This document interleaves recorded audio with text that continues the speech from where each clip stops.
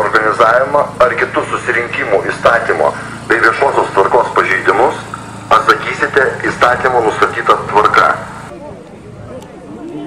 Gerbiami piliečiai, įspėjame, kad už riaušių organizavimą ar kitus susirinkimų įstatymo bei viešosios tvarkos pažeidimus atsakysite įstatymo nustatytą tvarką. Reikšdami savo nuomonę, laikykitės viešosios tvarkos.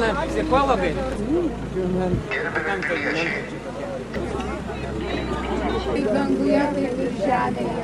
Kasdienis mūsų duonos duok mums šiandien. Ir nereikia. Ką bragėdas važiuoja?